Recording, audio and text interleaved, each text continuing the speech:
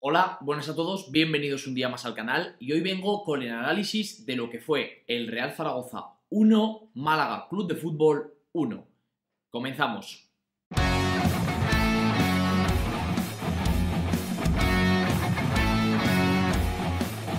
Ya estoy aquí y nuevo empate del Real Zaragoza, esta vez en casa contra el Málaga, que llegaba a la Romareda como colista de la Liga Smartbank, en un partido que se puso muy pronto de cara para los intereses zaragozanos, con esa expulsión tan temprana del lateral izquierdo Javi Jiménez.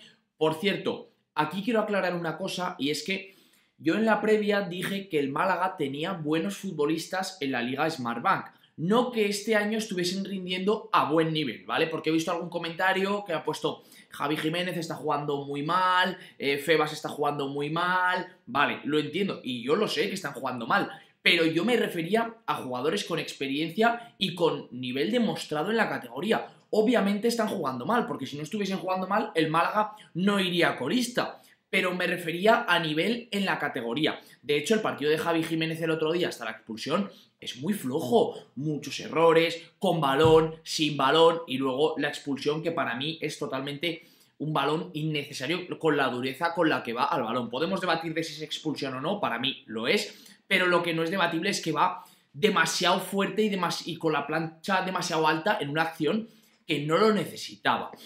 Como digo, un Real Zaragoza inoperante una vez más en cuanto al gol en este partido contra el Málaga en el que se quedó con 10, como digo, de manera muy temprana. De hecho, Javi Jiménez fue expulsado en el minuto 13, o sea, jugó prácticamente todo el partido con un jugador más el Real Zaragoza. Pero algo sí que quiero decir, y es que yo estos últimos partidos decía que pensaba que el Real Zaragoza no generaba principalmente por el planteamiento de los entrenadores, primero de Carcedo y luego en Copa del Rey el de Fran Escriba, aunque creo que realmente, lo dije también en su día, tampoco se puede decir mucho del planteamiento de Escriba en el partido de Copa porque llevaba muy pocos días al mando del equipo y todavía pienso yo que no le había dado tiempo, bueno y de hecho se vio este fin de semana, a los jugadores a adquirir los conceptos que le tenga que decir el entrenador. En este caso, creo que se vio un Real Zaragoza que generó muchísimas ocasiones. De hecho, luego veremos las estadísticas, pero creo recordar de memoria que hizo más de 20 tiros. Eh, creo que fueron casi 10 a portería. Otra cosa es que luego no se acierte. Pero en este partido creo que a Fran Escriba se le puede decir poco, porque él puso todo lo que tenía que poner para intentar darles a los jugadores armas y situaciones a las que llegar a portería hizo cambios ofensivos cuando tocaba hacer cambios ofensivos. Generó distintas ventajas tanto por dentro como por fuera con la entrada de nuevos futbolistas. Eh, no sé, yo salvo la insistencia, que sigo sin entenderlo, pero lo hacía Carcedo y ahora lo hace Escribá en Valentín Bada, que yo siempre he dicho que creo que solo ha hecho un partido bueno esta temporada, que fue contra el Tenerife, lo demás se me queda bastante corto para lo que necesita. El equipo además en esas situaciones, en esa posición, porque ya estamos viendo que el equipo necesita acciones de gol y necesita jugadores que tengan gol. Y Bada presumiblemente lo tiene, pero no lo está demostrando. Y creo que ahí se podría buscar otro tipo de futbolista, quizá buscar una, una alineación con dos puntas, por mucho que Gueye no esté convenciendo, quizá buscar otro tipo de perfil con Eugeni, que luego, por cierto, salió y lo hizo mejor que el argentino, o buscar, yo que sé, otro tipo de, esquema, otro tipo de futbolista. Ya digo que creo que el partido del Real Zaragoza no fue malo. Creo que, de hecho, también solo faltaba jugando 80 minutos con un hombre más, que fue bastante superior al Málaga. Pero luego, jugadas clave y momentos clave del partido, pues te marcan la diferencia. Vamos a ver un poquito las alineaciones de ambos equipos, que las tenéis ya en pantalla. El Real Zaragoza formaba con Álvaro Ratón en portería, ya sabéis la baja de Cristian Álvarez, hacía que jugase Álvaro Ratón, Fran Gámez y Gaby Fuentes como laterales, Jair y Luis en la pareja de centrales, sorprendía aquí la baja del canterano Alejandro Francés, luego escriba en rueda de prensa explicó que jugó Luis porque lo ve el central más rápido de todos, cosa que a mí, yo sobre el campo, obviamente lo será, porque si lo dice el entrenador, no me cabe ninguna duda de que él lo tendrá mucho más controlado. Pero a mí, sobre el campo a la hora de ver el partido no me parece más rápido Luis que francés. Y en todo caso, si tú quieres velocidad, tu pareja tendría que ser Luis francés, ¿no? O sea, no, no lo veo realmente muy coherente porque además en el gol del Málaga, a mi modo de ver, Jair se queda muy parado y lo estamos viendo que es un mal endémico de Jair que muchas veces prefiere guardar la posición a salir en busca del jugador y chuta muy cómodo eh, Haitam. Para mí, creo que tiene que salir un poco más. Luego, es cierto que también considero que Álvaro Ratón puede hacer más, porque primero a la hora de chutar pienso que está mal colocado y luego creo que en la estirada puede hacer algo más. Pero ya digo que Yair para mí también falla en el gol.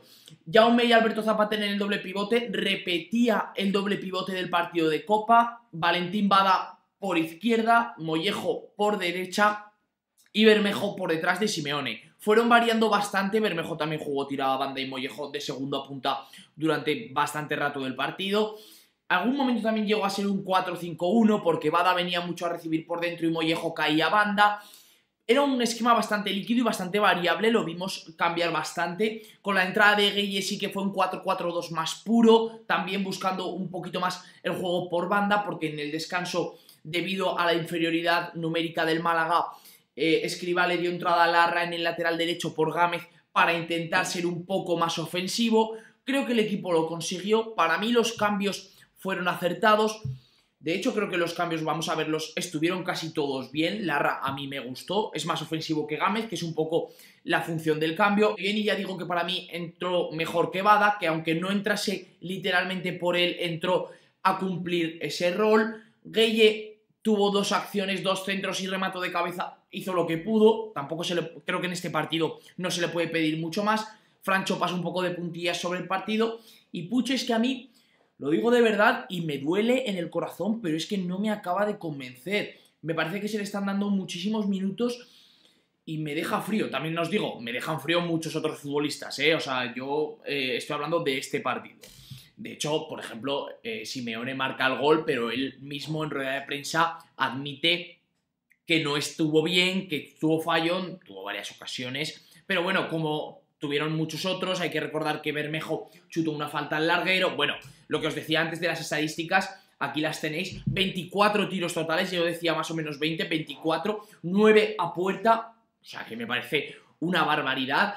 Y que lo normal, si haces estas estadísticas y haces este partido por sensación, por juego, por todo, es que acabes ganando. Yo creo que el Real Zaragoza también ahora está un poquito en un momento complicado, está en un momento en el que le cuesta de confianza también, le cuesta coger confianza para intentar generar ocasiones, para intentar meterlas también, están un poco ofuscados algunos jugadores, pero creo que realmente yo me yo el partido muy enfadado porque al final lo acabas con un jugador más prácticamente todo el encuentro, 80 minutos, y no eres capaz de ganar el partido frente al colista. Realmente creo que hay que acabar el partido enfadado porque es un partido que hay que ganar sí o sí, pero es que no sé cómo, no sé cómo explicarlo. Yo creo que el equipo hizo todo para ganar el partido, pero realmente creo que aquí sí que se echó en falta un jugador con la calidad suficiente de tres cuartos para arriba, un delantero con la calidad suficiente,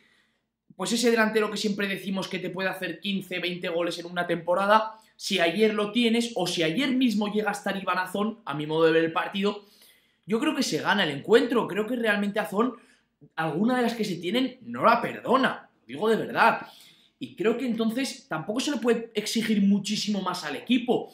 Ganar, sí, claro, a todos nos hubiese gustado, pero claro, esto es fútbol. Y si a ti te llegan una vez, tu portero y tu central fallan, y tú llegas 25 veces y no eres capaz de meter dos entre los tres palos, es muy complicado que ganes, pero no muy complicado que ganes frente al Málaga, es muy complicado que ganes cualquier partido de fútbol, es así. Veremos a ver, yo creo que en invierno lo que queda claro es que el equipo necesita mínimo un jugador de banda y mínimo un 9, pero un 9 de verdad, un 9 que te pueda hacer 8 o 10 goles en la segunda vuelta. Veremos a ver si son capaces de hacerlo. Un punto que para mí es claramente insuficiente para lo que necesita el Real Zaragoza, también para lo que necesita el Málaga, que era farolillo rojo de la categoría. Así que nada, chicos, recordad que hoy he subido otro vídeo por la mañana sobre el Mundial de Qatar, que os lo dejo por aquí encima si lo queréis ver. Y nada, si queréis apoyar el canal, ya sabéis, like, suscripción y nos vemos mañana con un vídeo nuevo. Chao.